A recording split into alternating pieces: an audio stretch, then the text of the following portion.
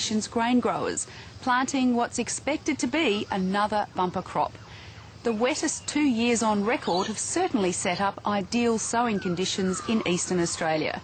But with world supply looking fairly comfortable, most forecasters expect prices to stay flat. Chris Clark reports on ways some growers hope to take advantage of any little price spike available.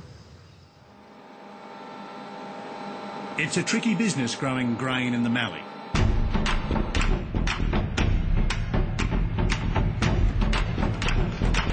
Robin Schaefer's coming towards the end of his seeding program. There's a bit of rain on the way. With most of his crop in, he's hoping for some good falls in the next day to really kick things along. What's already in the ground needs a drink. Some of the stuff now, it's um, starting to get on marginal moisture conditions. Certainly, you know, everyone's looking for a bit more rain again soon. Risk is the grain grower's constant companion. At the moment, there's just enough moisture around to make last summer's stubble and weeds stick to the tines of the seeder.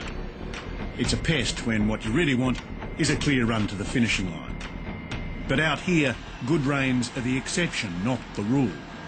We're basically now cropping a bit over 9,000 hectares to cereals, oilseeds and a few grain legumes as well. We will have, when we finish in a few days' time, about 7,000 hectares of wheat in the ground. We've got just under 1,000 hectares of of barley and just under 1,000 hectares of uh, canola, and then the rest is uh, basically uh, uh, grain legumes. Robin Schaefer and John Gladigau run a collaborative cropping venture near Loxton in South Australia's Mallee. Have a look at these roots down here. Good root system. Well, that's all right. Yeah. Secondary roots are going all right. Yeah, they are. They're getting going. Some moisture down there. Oh, there's still stacks of moisture in that seed bed, isn't there? Yeah, yeah, once you get down. Water's the key, as it is for any grower anywhere. Rainfall in the Mallee this season followed the pattern over much of southeast Australia. We had good rains through harvest time, which really gave us some good deep subsoil moisture, and then we had some more good rains in early March. So coming into seeding, our subsoil was virtually full. Um, top was drying out, but we had enough moisture there to get the crop down into the moisture with no till and uh, to get it up and established, and that's what we're looking at here. You'd think in a marginal area like the Mallee they'd be reluctant to sell much grain before they've grown it, but forward sales, contracts to supply before the crop's harvested, are an important part of their marketing effort. Probably the biggest risk is to not be selling anything at all and having a whole crop that's exposed to the marketplace. Even a really poor year for us would be, you know, 0.4 to 0.6 of the hectare, I guess, so that we can quite confidently, we believe, go in and sell 0.4 to 0.6 per tonne per hectare of our crop even prior to seeding because that's almost the worst case scenario in a decile one year. So while they're flat out seeding the ground, they're always looking at the market for selling opportunities. They must make the final decisions on what to plant and when to sell, but like many growers, they buy in professional advice the moment now, with uh, as you know, the moisture's drying back. Yeah, we're still able to get it down on the on the moist soil so you, at this stage. So you've got moist. Oh yeah, yeah. So germinating straight away. Um, yeah, yeah, it's all it's all coming through. Yeah, and it, and it Some of that advice comes from Chris Heinjus, a former grain trader who's often on the farm to see how things are going and discuss when and how to sell. So what's your gut feel, Chris? You're a bit bullish at the moment. This market will change quite rapidly, um, and that's probably the, the, the main thing is that this is a weather market. We're going to see forecasters trading the Northern Hemisphere crop, and it's going to basically, uh, you know, it's going to be either disaster or it's going to be good. And that emotion will change quite rapidly. So we just need to watch it pretty closely. What they choose to grow is dictated much more by what grows best rather than where the price might be at sowing time. Our planning starts virtually 12 months before, really. Once this year's crop's out of the ground, we're looking at what the weed burden is, what the disease burden that is in, in the paddocks, and, and really starting to put in place what we're going to do with those paddocks next year. And, and even in some cases, it's two years. They'll tweak the final mix between different crops as they get closer to putting the seed in the ground, and that might be determined by the market outlook. The Mallee is regarded as marginal cropping country there's more chance of crop failure. It's the combination of yield and price which ultimately determines profits. With really good prices like we've seen in some of the last few years, we can get yields down as low as um, uh, 0.8 of a tonne to the hectare, and, and that'll be a break, break even price. But when the price comes back a long way, you know, we might need 1.2 tonne to the hectare to break even. Long-term averages, we budget on about 1.2 tonne to the hectare here, but we'd expect to get that in probably 70% of the years. We'd expect to get better than that. While the Mallee's riskier, it doesn't stop Robin and John from forward selling as much as a quarter of their wheat crop in some years. At the moment, we're probably actually less than 10% forward sold on wheat, and that's partly because the, where the prices have been at the time, and, and we'd like to be a bit, probably a bit more than that. Some of the contracts that we do look to lock in aren't necessarily even production contracts, but are hectare-based contracts, which in an area like the Murray Mallee, where um, you know one of the biggest risks is actually production, uh, where we can actually lock in a price and have all that production off that given area locked away, which is a great little extra avenue for us. For decades, grain growers' marketing risk was offset by the single desk, the wheat export monopoly that saw grain pooled and returns averaged out. But those days are gone, replaced by a new world in which the grower must decide how best to market their grain. Grain marketing is not a case of one size fits all. The weather, the seasons, the soil all play their part. Hi, Brad. How are you? Uh, well, thank you. A bit overcast and dismal here. We've had a close to a shower or so today. Victoria's Wimmera is a bit more reliable than the Murray Mallee in South Australia. This is where Simon Tickner grows the fairly typical regional mix of wheat, barley, canola and lentils. And Brad Knight is a broker who helps him sell what he grows. If we get that 225 delivered type price, we're seeing uh, that's a good 10 to even 15 to 20 dollar increase on what would have been available there only two to three weeks ago. Yeah, well, it's still uh, just a tad of what we're what we're targeting. I mean, obviously you're aware of what we're after, so uh, if it Hits that price, go ahead. I'll let you know. I'll give you a call back uh, later on this afternoon. Okay, thanks very much, Brad. See you. Bye. Bye. Sometimes it's the little things that make a deal worth doing. In this case, they're looking to ship barley out of Portland in Victoria. So there's two factors there: freight advantage, where Simon's farms are down to port, and a general lift in, in prices. So it's a good opportunity. Twenty dollars a tonne is nearly ten percent increase. Um, so when you bring that to, back to a per hectare basis, that's it's a substantial increase in profitability for just for holding on to grain for a couple more weeks.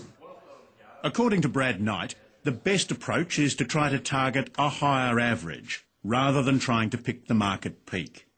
Every day you enter the market, you, you would like to pick the best price and the top that day or in that short period, maybe that week. But over the long run, trying to pick the top price, you only know it was the top price after the fact.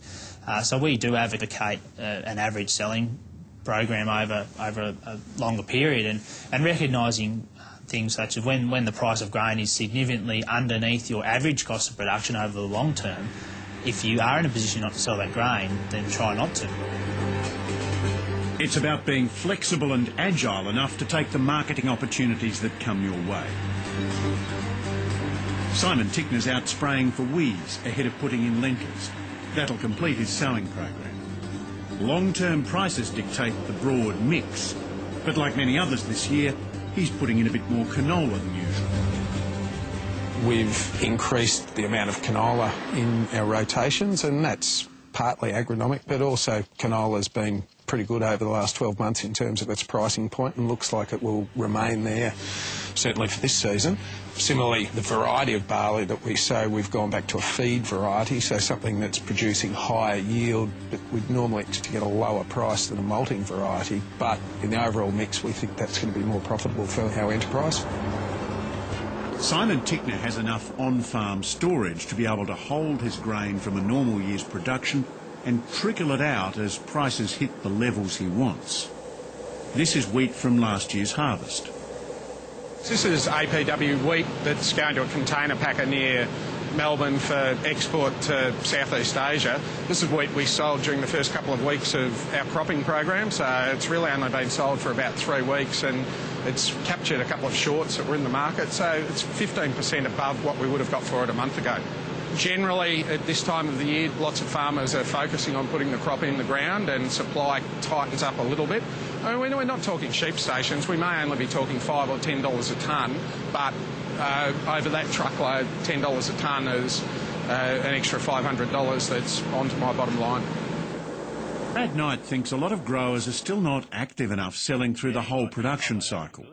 One major thing we've seen is growers trending towards growing their crop and then selling it, which doesn't make sense from a marketing perspective. They should be, when they're spending their money growing their crop, they should be trying to sell it as they go. But the inherent production risk around growing or not growing crops, depending on rainfall, means that they're largely wanting to produce it, store it, and then sell it generally over time. To store or not to store? It's a question we looked at on Landline earlier this year with David Cook, who farms near Shepparton in northern Victoria.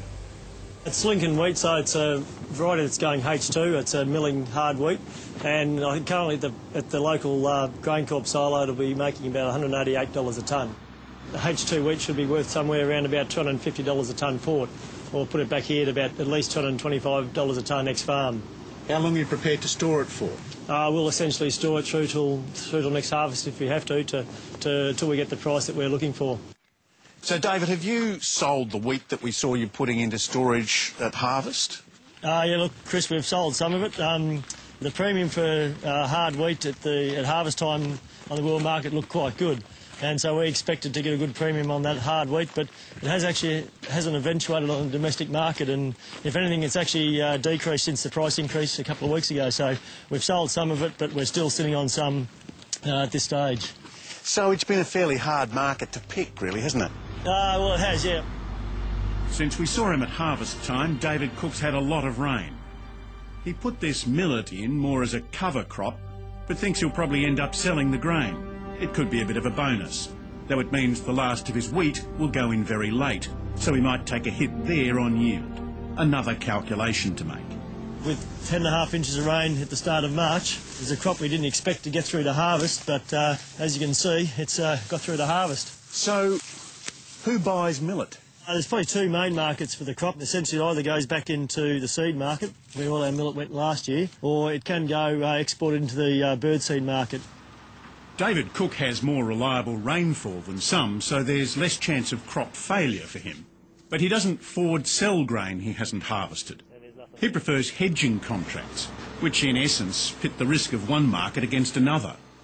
We generally don't sell any grain forward until we've got it in the silo, mainly for the reason that the, the trade therefore offers a decent price against what the international pricing is at the time. Um, as you get closer to harvest, uh, we'll often convert uh, hedged products where we use wheat and canola hedged on Chicago or, or Winnipeg futures exchanges. And we'll use them to smooth out the um, price fluctuations throughout the year and try and set ourselves some target prices. Simon Tickner will forward sell a bit, Our marketing program starts around about now, about when the crop goes in the in the ground, generally around May, and we will pre-sell before we've actually harvested the crop if we think there are some really good opportunities there. And we're constantly looking at risk, but we don't sell a lot before the harvest is in the silo. And then the bulk of our sales then happen after the November December harvest. The reluctance of farmers to commit to selling grain they haven't yet grown is perfectly understandable, and the reason's simple rain. The biggest single factor in crop yields across Australia's southern grain belt is rainfall. Rain to set up the sowing, and rain to take the crop through to harvest. Chris Heinjus doesn't only advise others how to sell, he's also part of a family farming enterprise in the lower mid-north of South Australia. Michael Farley's their farm manager. It's been dry, and they're sowing later than they'd like. I think we'll get this job done and then we'll probably sit on our hands and wait for some rain. It Hasn't been ideal, but at least we've been able to keep going and get a bit done. Yeah. Looks like the rains, hopefully, we'll be getting some later today, if not tomorrow, so it'll be ideal, really. Yeah, it looks like it's going to Deciding to sow into dry ground is a calculated risk. Technology can help a bit. The latest seeders allow for more precise placement. Farmers can put fertiliser and seed where they want it. That increases the chances of successful germination. We've had some pretty dry conditions for seeding this year, and uh, potentially with some older equipment that we, we've had previously, there wouldn't have been the opportunity to be sowing. We've got infinite adjustment on the pressure that we put on this press wheel, the pressure that we apply to this tine, so in dry conditions we can actually penetrate the soil, and also the, the, the, the sowing depth that we ultimately want to operate at. Every day that seeding's delayed, though, can cut final yields.